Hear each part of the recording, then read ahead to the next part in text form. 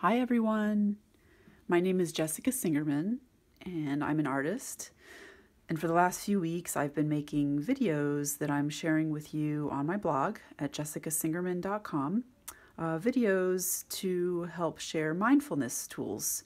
Um, I hope that you'll enjoy these and that they'll bring you a little bit of, of joy and maybe a bit of mindfulness and some tools that you can maybe incorporate into your life. So what I'm going to do today is I'm going to show you the process that I follow to draw uh, from life. So in this case, it's a botanical drawing of this violet that I found uh, in, in our front yard um, just a few minutes ago. So I'm, I'm just going to do this. So I'm going to start with a pencil and then I'll be going uh, over the drawing with uh, an ink pen.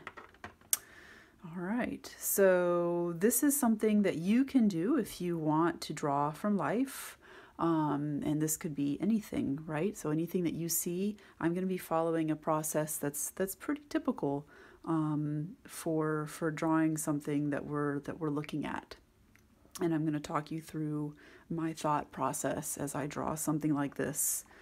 So the first thing I'm going to do is I'm going to look for a more basic shape, right? Because this has a lot going on and I want to try to simplify things at first.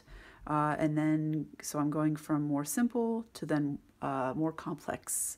So I'm going to start with the basic shape that kind of encompasses the whole plant here. And I start really lightly um, because I as I work, I anticipate that I'm going to be making changes. That's just the process of drawing. So I have this kind of oblong shape that contains all of this, and then I'm going to start breaking it down into smaller shapes, working very lightly until I get a better sense of where things are. So I'm going to start to break things down into their smaller components, still keeping um, uh, keeping these shapes more open and a little more geometric, not getting into all the little subtle changes that are happening in this. Hopefully you can see this from the screen. I'm working very lightly for now and it will get, um, the drawing will get a little more, it will get more intense or heavier as I go and figure things out. So right now I'm figuring out where these leaves are sitting uh, with respect to each other. Everything is always relative in drawing, so I'm drawing leaf shapes and comparing them to each other relative to their sizes. And so I'm shifting things already around. I have more space here than what I want, so I'm going to be moving. Um, let's see, I've got my root shape here, and then I've got the leaf right here. Okay, I'm going to shift that out. It needs a little more space. So this is the process of drawing. Everything is relative, so things are only bigger or smaller than other things and positioned relative to each other. So when I start mapping out a drawing like this, my eyes are moving around comparing things to each other. I'm not looking for absolutes right now. And, and the reason this is a very mindful thing to do is that it, it asks for a lot of focus. Because as I'm doing this, I'm, I'm aware of a lot of things all at once and taking moving my attention from one part to the next, keeping a vision of the whole. This is a very, it's a very meditative thing to draw from life. Okay, now this is starting to feel a little bit better.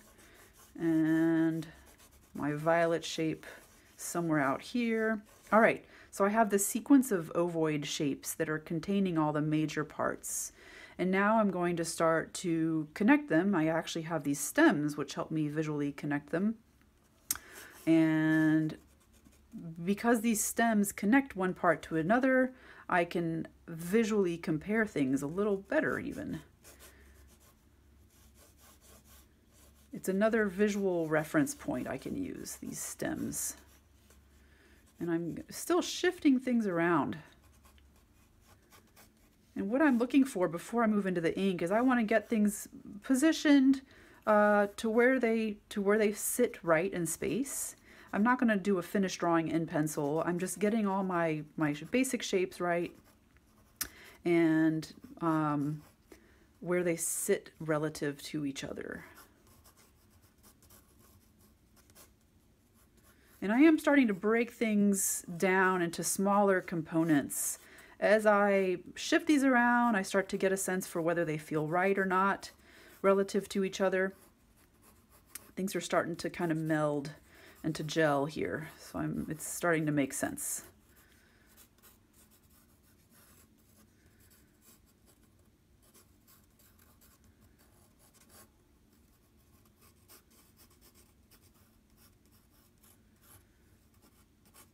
So one of the tough things about drawing from life is that there are a lot of things that, that are distracting, and in this case, a lot of tiny little details.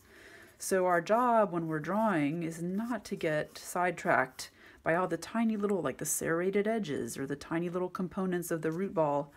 And so I'm, I'm continually moving. And when you make yourself continually move like this, you, you aren't able to get into tiny details. You want to avoid those details for now. Paint, drawing details at the start of a drawing is like if you're building a house and then you're thinking about the way you're going to decorate your walls or put, you know, curtains before you've even built your foundation. It, it doesn't make sense uh, and it doesn't give, you have to have a structure to your drawing. I say have to, but you don't, you can do whatever you want, of course. This is really just if you want to draw from life and make a convincing drawing that looks like what you are looking at.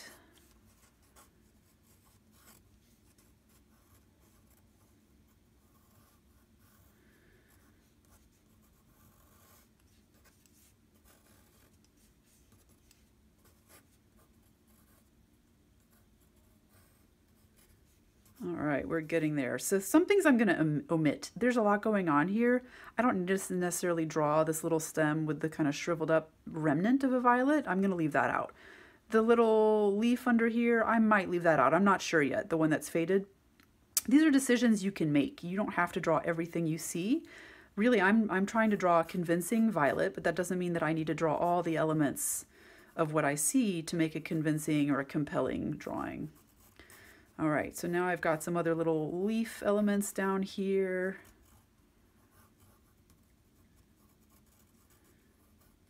And then some of this root area.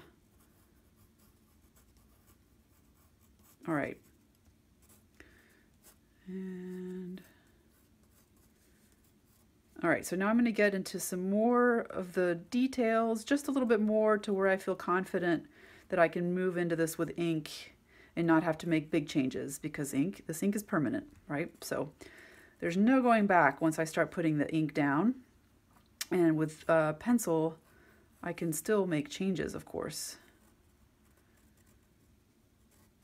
Now this drawing I'm making, I'm making it knowing that I'm eventually going to paint it using watercolors. So today I'm going to be drawing it, and then in another video I'll show you what it's like to, um, to put watercolor on this for color. But today we're focusing on drawing. All right. Uh, great, so now I'm gonna get into my violet. It's, which is actually moved in the time that I've laid this down. I have sunlight coming in from this side. And this is kind of what happens between the, the plant still reacting to the light and also starting to kind of, well, slump a little bit because it's been taken out of the ground. You kind of have to work a little fast when you're working with uh, live specimens like this. Um, if you want to try to get things before they change on you. All right. Okay, I think I have all the information I need now. So what I'm going to do is I'm going to now take my, my ink pen, and these are the ones I really like, uh, this is a Pigma Micron um, ink pen. It's waterproof so that once I go on with watercolor, uh, it won't budge. And after I'm done with this, I'll go back with my eraser and erase off all the, um, all the extra pencil lines. All right, so here we go. So as I move through here, oh, I'm noticing some, sorry, I'm gonna make a change here. Uh, this little stem is too far down on the root ball. I'm gonna move this here and I'm already gonna erase that Gonna get off some of the excess. clean that eraser up, get that off. Okay, good. Now I can still make changes with the ink by just drawing um, in another place that where, where there's then where there's a pencil line if I need to do that. It's okay. All right, here we go. So I'm gonna start, where, where am I gonna start?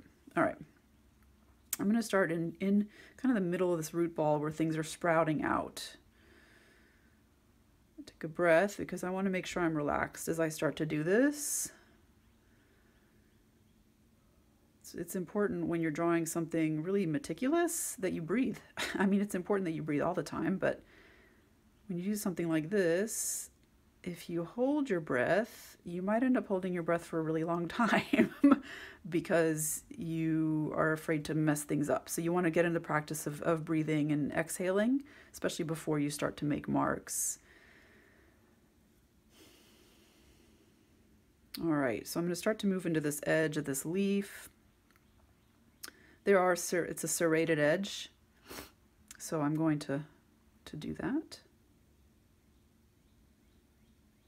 And I'm still always checking, comparing with my plant because I can still edit things before I put the ink line down. I can make a decision to, to change things up a little bit if I need to. All right.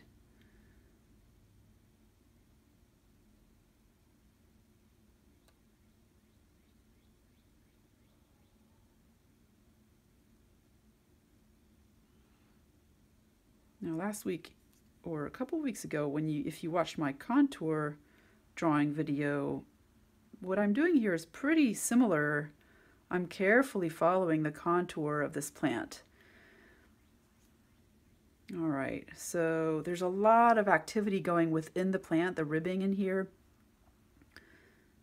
So I'm going to choose what I'm going to draw here just to give a sense, because that's one of the main, if you study plants and to identify them, you look at the way the, the veins go through the leaf, right? The ribbing and the way that it's angled or the way that it comes from the center helps determine the leaf type. So this is a pretty significant detail and I want to get some of that because that's what makes this uh, violet plant identifiable. And that's just because, you know, I'm interested in botanical drawings and in getting some measure of accuracy. That's really up to you, though, if you want to include that kind of detail.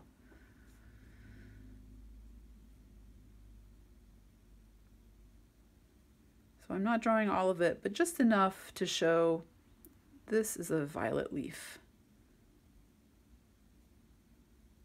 All right, so we've got enough detail here. I'm going to move now into this leaf and I'm noticing things are already changing. The plant is still moving all the time. My flower is quite different. I'm actually going to do the flower now before I move on because that one's changing the most as it's starting to, well, droop a little bit.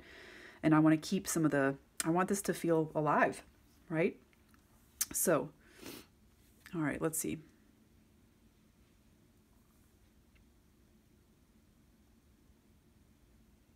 So I'm moving into the stem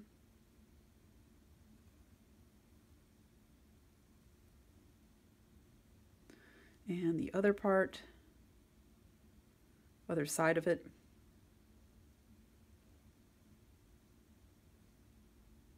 All right, it narrows as it comes into the flower. And then I'm going to draw the green part. We have two little elements here. You can see the other side a little bit back here. All right, now this flower, which has dropped since I drew it in pencil, but the main thing is I want to make sure that the size of the violet flower feels right relative to the leaves, right? I don't want it to be too small or too big. So I want to make sure that even though I'm repositioning this now, I'm repositioning it to look more like this.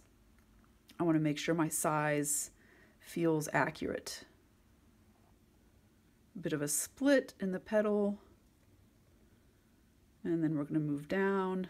I'm going to take a look at this.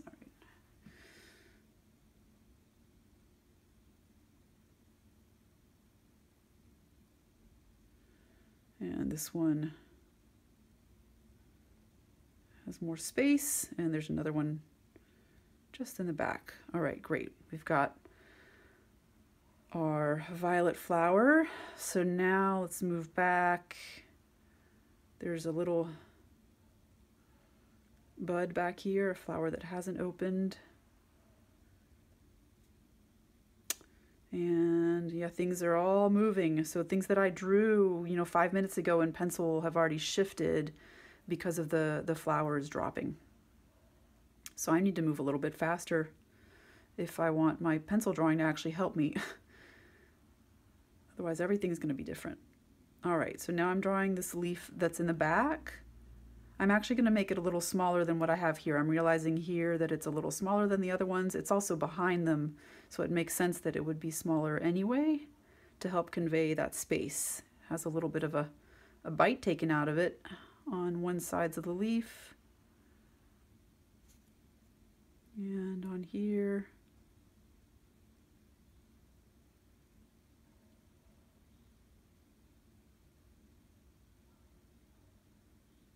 All right. And, you this one I'm maybe not going to draw the ribbing just because it's farther back. And once I get the watercolor in there, we're going to have more information. So I have the ribbing here. I think I'll probably do it in this one as well, just because it's in the forefront. All right, let's draw this one here. It's starting to get a little smushed by the other leaf on top of it.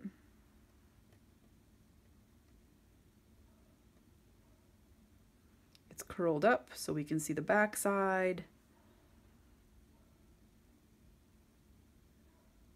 Longer at the base or at the end here.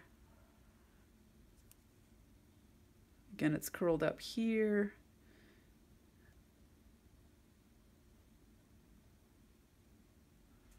All right, I'm not going to do ribbing on the inside here. The veins are in the dark, they're in shadow. Um, it doesn't make sense to do that much detail for something in shadow. This is getting light. All right, so these are some of the decisions that we make when we're drawing. What to leave out, what to include.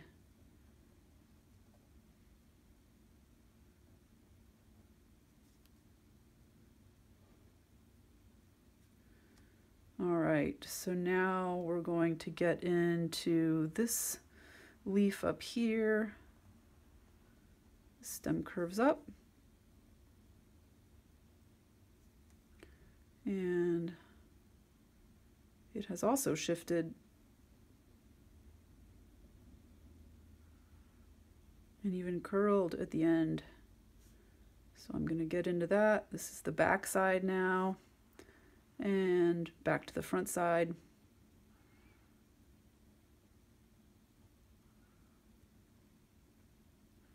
and then it drops down kind of like a heart shape.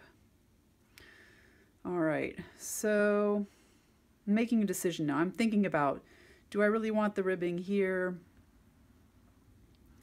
or here? I don't want to include it everywhere. I'm going to think about this a little bit more. I'm going to move back to the one, to the leaf behind these. Got to move the stem.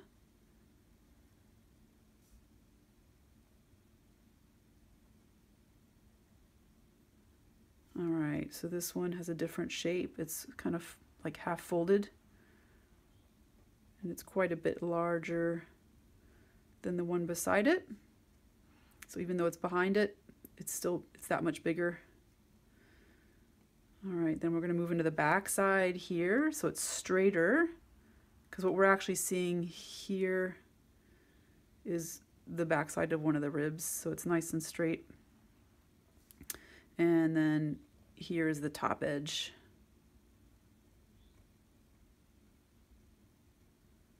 And there we go. Okay. So I am not going to draw the little faded leaf in the back. I just think it's going to be too much information. And what I've decided to do, actually, I'm going to do some of the ribbing down on this leaf because that one's getting more direct light than this one. This one is turned away from the light. So I'm going to add some of the ribbing detail to this one.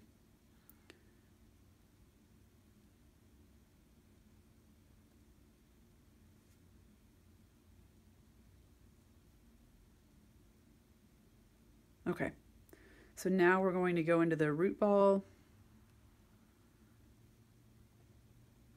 This is a series of layers of like half-shaped leaves and then some of the root area. Everything is kind of unfurling from this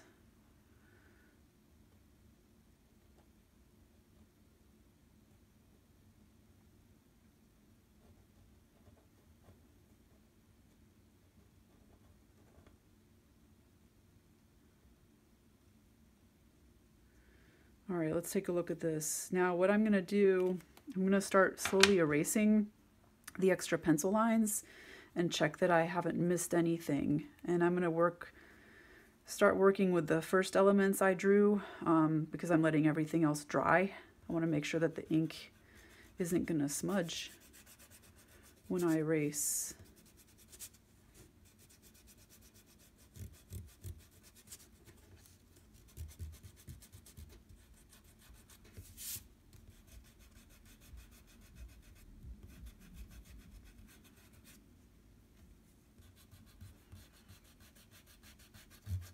Is the other reason it's nice to draw lightly with the pencil so that you can easily erase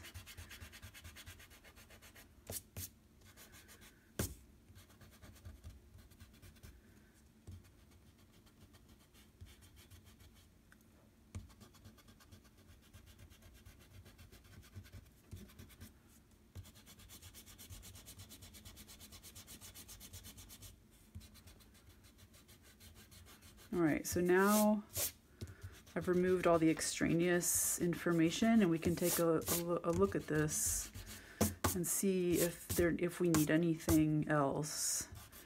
All right, so looking at this, I am making an executive decision that I need a little more detail in some of these leaves. I actually have a little more space now and I can evaluate this. So I am actually going to add the the veins in here at first I didn't want there to be too much. Now I see I have space and I can do this and it won't be too crowded. And I'm going to do the same thing in here. I have to be really careful not to make this confusing, right? I want it to be clear that this is the underside and this is the top. So we're actually just seeing a section of the veins in here